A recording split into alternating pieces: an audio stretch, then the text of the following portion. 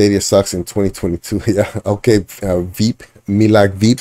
When's the last time you played it, and why does it suck? Do you even have it where you're from, or are you just trolling? Why cloud gaming is saving your money but causing harm too? Oh, okay. What is this right here? Maybe Miang Veep is uh, is right.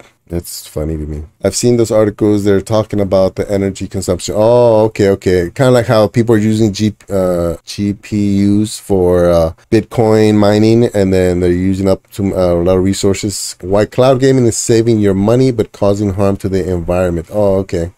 Cloud gaming is a natural progression of the gaming business. According to a Lancaster University study, video game streaming could result in a 30% rise in emissions in some cases.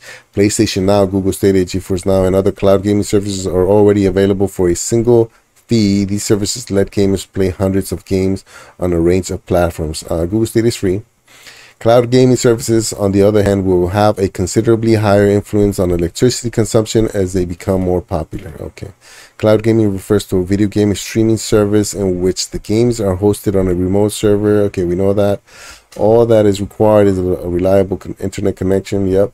The beginning with uh, gamers will require less actual hardware in their houses. The begging with gamers. This results in reduced, reduced plastic waste systems and game cases, lower manufacturing energy consumption, and increased global gaming accessibility. Oh, okay, okay. So they're looking at both things, right? So on one side, it causes more electricity, more, uh, you know, if, especially if they're using fossil fuels to power these uh, big server farms um, that can be good. But at the same time, you don't have any more consoles, any more cartridges, you know, Blu-rays, all that stuff that gets dumped. To run those servers, it takes electricity, uses coal, mining coal, etc. Yeah, yeah, that makes sense.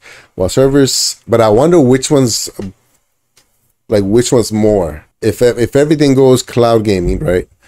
Um, is that is that going to cause more damage with the requirements for for energy?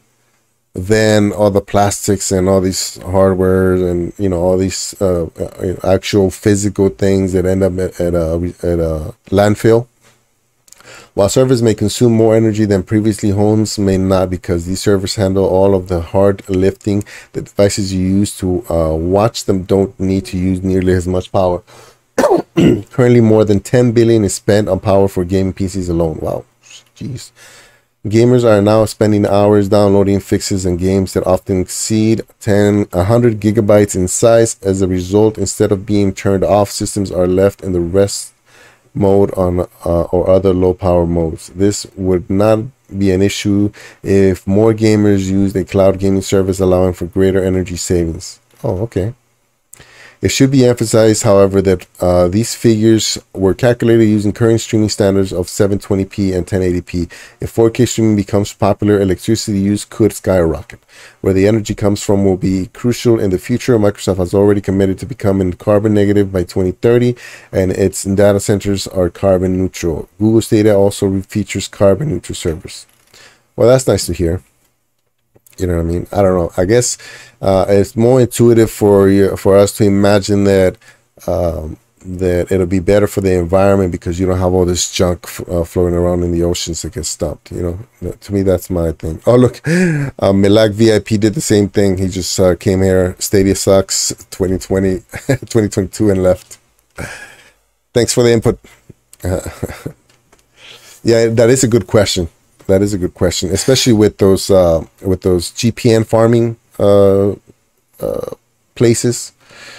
GP not GPA GPU farming uh places you know what I mean where they just like nobody's really getting anything out of it other than because the more you mine for Bitcoin the less Bitcoin you can get so the more machines mining uh, makes it so there's less Bitcoin available. That's part of the system, uh, at least the way I understand it.